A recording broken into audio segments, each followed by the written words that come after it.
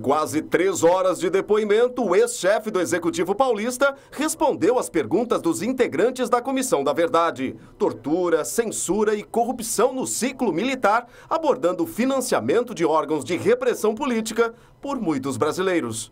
Foram vários grupos, mas dois se destacaram.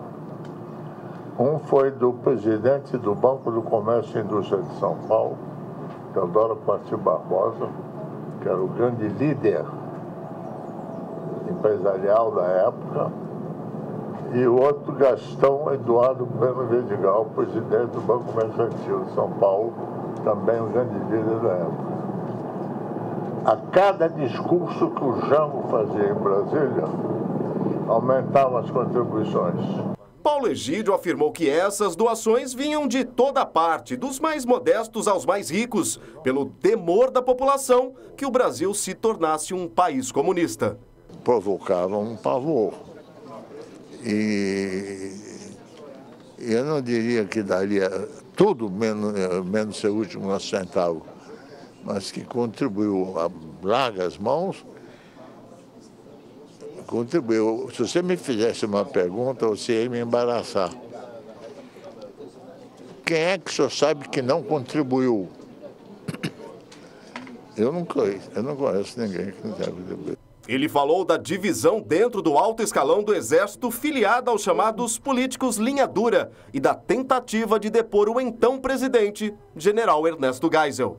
Não foi um complô direto, mas fazia parte de um plano de tirar o Geisel do poder, como na admissão do Silvio Frota se constatou. Porque eles queriam um regime mais forte.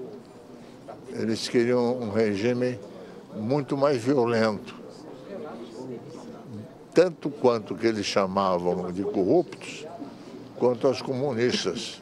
Na hora que um Herzog, que comanda um jornal da Rádio Cultura, praticamente sem audiência, se torna uma ameaça à segurança nacional e leva esse homem para ser ouvido e torturam, e acaba morrendo torturado, novamente, quem acreditar que esse homem tivesse algum poder, com toda a radiocultura na mão dele, esse cara ou é um ingênuo ou é um má fé. O objetivo era tirar o Gaio da presidência da República. O ex-governador de São Paulo chegou a citar quem teria interesse em depor Geisel. O seu ex-ministro do Exército, Silvio Frota, por exemplo. Mais alguém? Este silêncio esteve presente em alguns momentos do depoimento também. Ficaram também algumas coisas que, né, que nós perguntamos. Ele disse bem da questão do financiamento do regime, nós chamamos de ditadura civil-militar, porque os civis participaram muito.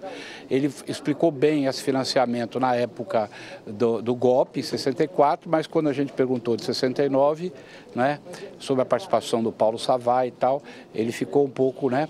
Também eu acho que a questão do, do, do, da, do mais assim, da, do, da repressão, por exemplo, a questão do Freuri, né? Ele negou veementemente qualquer tipo de é difícil um governador não ter, um, né, não saber quem era, como é que era, etc. Então eu acho que ele se preservou nisso. Mas, de forma geral, o depoimento dele, para nós da comissão, foi muito importante.